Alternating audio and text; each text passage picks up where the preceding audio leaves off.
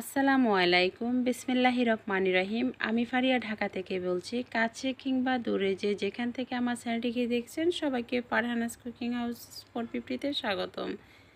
আজকে আমি ফারিয়া আমাদের ধর্মপ্রাণ মুসলমানদের একটি জনপ্রিয় খাবার গরুর মাংসের ঝোল। আর বাঙালির তো একেবারে গরুর মাংস প্রিয় একটি খাবার। এটা একটি কমন রেসিপি আর এই কমন রেসিপিটা কিন্তু পারফেক্টলিভাবে রান্না করতে জানলে খাওয়ার স্বাদটা কিন্তু দ্বিগুণ হয়ে যায়। অনেকেই কিন্তু কমেন্ট করে জানিয়েছিলেন, আমার আরও গরুর মাংসের রেসিপিতে আপনাদের গরুর মাংস সিদ্ধ হয় না। আমি এখানে ফ্রেশ দুই কেজি গরুর মাংস নিয়ে নিয়েছি। গোস্ত দেখেই বুঝতে পারছেন যে এখানে কতটুকু ফ্রেশ মাংস। তো এখানে আমি এক বাটি পেঁয়াজ কুচি দিয়ে দিয়েছি। আজকে আমি হাতে মাখানো গরুর মাংসের ঝোলটা রান্না করব। আর এটা আমার আম্মার কাছ থেকে সব সময় আমি দেখেছি, আম্মা এভাবে মেখে রান্না করতো। আমাদের কাছে মনে হতো মায়ের হাতের অমৃত আমাদের স্বাদ কাছে আছে। আম্মা সব সময় এভাবে রান্না করতো, বিভিন্নভাবে রান্না করতো। আমি আমার আম্মার রান্নাগুলোকে ফলো করেছি। এখানে আমি দেড় টেবিল চামচ শুকনা মরিচ গুঁড়া দিয়ে দিয়েছি, এক চা চামচ হলুদ গুঁড়া দিয়ে দিয়েছি, এক টেবিল চামচ ধনিয়া গুঁড়া, এক টেবিল চামচ জিরা গুঁড়া আর স্বাদ মতন লবণ দিয়ে দিয়েছি।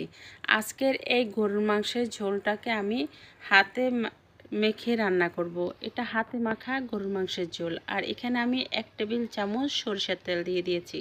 সরিষার তেলটা দিয়ে দিয়েছি মাংসটা ম্যারিনেট করতে যাতে সুবিধা হয় এবং সব মশলাগুলো যেন মাংসের ভিতরে প্রবেশ করে। আপনারা এভাবে যখন গরুর মাংসের, হাতে মাখা গরুর মাংস রান্না করবেন এইভাবে ভালো করে কষলিয়ে কষলিয়ে এটাকে ম্যারিনেট করে নেবেন। অন্তত পক্ষে দশ থেকে পনেরো মিনিট এটাকে ভালো করে মেখে নেবেন। কারণ গরুর মাংস যত ভালো করে মেখে নেবেন ম্যারিনেট করবেন, তত গরুর মাংসের স্বাদ কিন্তু বেড়ে যাবে। কারণ আমাদের যাবতীয় মশলা সব কিন্তু গরুর মাংসের ভিতরে। এভাবে কষলানোর মাধ্যমে কিন্তু গরুর মাংসের ভিতরে প্রবেশ করে মশলাগুলা। সেই ক্ষেত্রে গরুর মাংসটা খেতে খুব ভালো লাগে। এখন আমি বিশ মিনিটের জন্য রেস্টে রেখে দিয়েছি। বিশ মিনিট পর ফিরে আসলাম। আজকের গরুর মাংসের ঝোলটা রান্না করব আমি সরিষার তেল দিয়ে। এইখানে আমি তিন টেবিল চামচ সরিষার তেল দিয়ে দিয়েছি। আমি এখন আস্তে আস্তে গরম মশলাগুলো দিয়ে দেব। তিন টুকরা দারচিনি দিয়ে দিয়েছি, দুইটি তেজপাতা দিয়ে দিয়েছি। কারণ গরম মশলাটা কিন্তু আপনারা এভাবে তেলে ভেজে নেবেন, একটু যাতে সেন্ট বাইর হয়। এখানে আমি চার পাঁচটা লং দিয়ে দিয়েছি। কিছু কাঁচা কালো এলাচ দিয়ে দিয়েছি, একটি জয়ত্রী দিয়ে দিয়েছি, একটি স্টার্ট দিয়ে দিয়েছি, পাঁচ, ছয়টা আমি এলাচ দিয়ে দিয়েছি। এখন এটাকে আমি মিডিয়াম টু লো হিটে একটু ভেজে নেব, যাতে খেয়াল রাখবেন মশলাটা যেন না পড়ে যায়, গরম মশলাটা যেন না পড়ে যায়। এখন তার সাথে আমি আরেকটু পেঁয়াজ দিয়ে এখন এটাকে ভেজে নেব, পেঁয়াজটা নরম হওয়া পর্যন্ত। পেঁয়াজটা যখন নরম হয়ে গিয়েছে, দেখতে পাচ্ছেন, আর খাঁটি সরিষার তেল কিন্তু সবসময় একটু ফেনা ধরবে। এখন মশলাটা আর পেঁয়াজটা একটু লাল লাল হয়ে যাওয়াতে আমি এখন ম্যারিনেট করা গরুর মাংসটা দিয়ে দিলাম। এই পর্যায়ে আমি কোনো পানি অ্যাড করব না, এখন আমি এটাকে ভালো করে মেখে নিচ্ছি। তেলের সাথে এটাকে আমি মিক্স করে নিচ্ছি। এভাবে আপনারা একটু তেলের সাথে মিক্স করে নেবেন।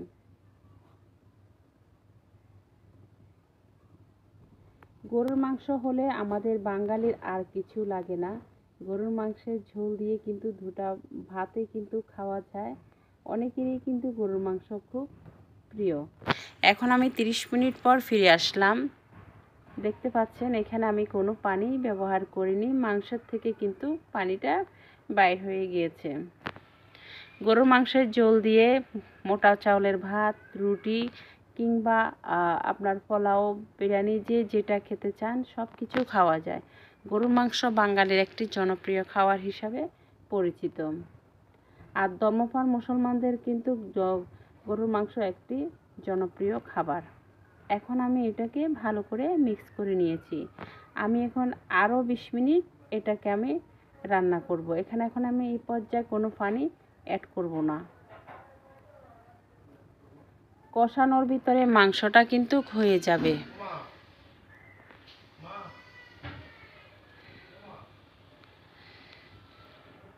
এখন আমি এ পর্যায়ে গরম পানি অ্যাড করব।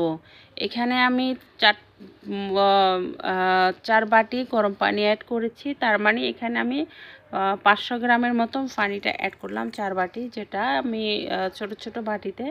এখন আমি এখানে গরম পানিটা সব সময় গরুর মাংসের পারফেক্টলি স্বাদটা পেতে হলে আপনারা যে গরুর মাংসতে গরম পানিটা অ্যাড করবেন, কখনো ঠান্ডা পানি অ্যাড করবেন না।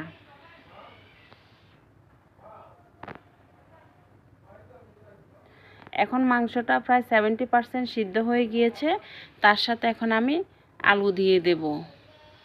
আলুটা যখন সিদ্ধ হয়ে আসবে, এ পর্যায়ে আপনারা চুলার আঁচটাকে একটু বাড়িয়ে দিবেন। কারণ এখন আমি আলু দিয়ে দিয়েছি। আলু দিয়ে আমি আরও বিশ মিনিট রান্না করলাম। দেখতে পাচ্ছেন মাংসটা কীভাবে সুন্দরলিভাবে সিদ্ধ হয়ে গিয়েছে, আলুটাও সিদ্ধ হয়ে গিয়েছে। এটা আমার পরিবারের পছন্দ, একটু ঝোল থাকতে হবে গরুর মাংসতে। গরুর মাংসতে ঝোল না হলে ওরা খেতে চায় না, ওদের কাছে খুব ভালো লাগে। এখন আমি দিয়ে দিব আস্তে আস্তে কাঁচামরিচ। একটা ফ্লেভারের জন্য। আর যারা অতিরিক্ত ঝাল খাবেন, তারা কাঁচামরিচটাকে একটু ছিঁড়ে দিবেন।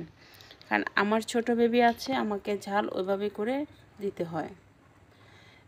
এখন নাইনটি পারসেন্ট সিদ্ধ হয়ে গিয়েছে। তার সাথে আমি একটু হাতে করা গরম মশলা যেটা আমি বাসায় তৈরি করেছি, এই মশলার রেসিপিটা আমি আপনাদেরকে ইনবক্সে দিয়ে দেব, আপনারা এটা দেখে নিতে পারেন। মাংসটা হয়ে গেল। গরম গরম ভাতের সাথে এবং রুটির সাথে খেতে কিন্তু অনেক ভালো লাগে। গরুর মাংসের পাতলা ঝোল। চুলা থেকে নামিয়ে ফেলার পরে আর একটু ঝোলটা ঘন হয়ে যাবে। এখন পরিবেশন করার পাড়া দেখতে পাচ্ছেন ঝোলটা কতটুকু ঘন হয়ে গিয়েছে নামানোর পরে। আর এরকম মিক্স হাড্ডি আর মাংস সহ একসাথে রান্না করলে আলু দিয়ে খুব ভালো লাগে। ধন্যবাদ সবাইকে।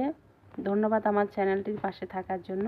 আর আপনারা একটু লাইক কমেন্ট করে জানাবেন, চ্যানেলটিকে সাবস্ক্রাইব করে এবং বেল আইকন অন করে দিবেন। আর পরিবারের সদস্যদের সাথে